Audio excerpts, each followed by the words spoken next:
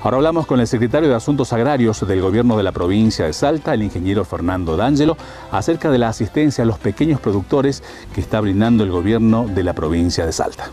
En el ambiental, vos sabés del ordenamiento territorial hace ya 10 años atrás, y en lo social, bueno, la Secretaría está muy comprometida en eso, muy comprometida con los pequeños productores y un trabajo a conciencia con ellos, junto con los intendentes y principalmente de los municipios chicos, ayudándolos con insumos, con semilla,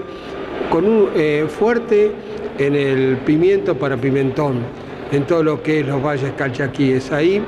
por primera vez, fuimos un poquito más lejos, hicimos algo que tal vez hasta ahora nunca se había hecho desde el Ministerio de la Producción, que es acompañar a los productores ya con tecnología, sea, acompañándolo en el almacio, en los productos que están usando, en buenas prácticas agrícolas.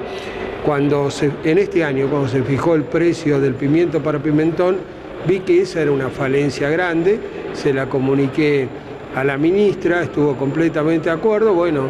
en tiempo de crisis igual se destinó una partida presupuestaria para seguir todo el ciclo del cultivo con buenas prácticas agrícolas y aparte de ver eso, bueno, ya tenemos para sentarnos a la mesa el día que se discuta el precio, que es allá por el mes de marzo del año que viene,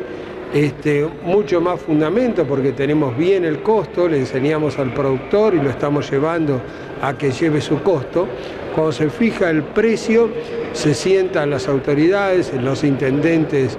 de esos municipios, los productores, los compradores y el moderador en la Secretaría. O sea que este año tenemos más argumentos y esperamos que el cultivo nos retribuya con, con buenos rindes y buena calidad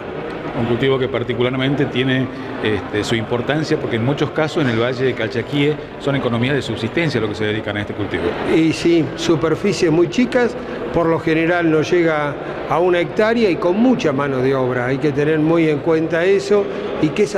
ancestral. Hay mucha gente que viene trabajando con eso y vos le preguntás, no, ¿por qué ahora lo está haciendo así? ¿Por qué hay nuevas prácticas? ¿Por qué usa este producto? Y dice, capaz lo usaba mi papá, lo usaba mi abuelo, venimos ahí, no hubo nunca un cambio radical de la semilla. Entonces, bueno, eso es lo que estamos trabajando este año y en beneficio de lo que vos bien decís y sabés, este, los pequeños productores y que puedan hacer un cultivo con mejor rinde y calidad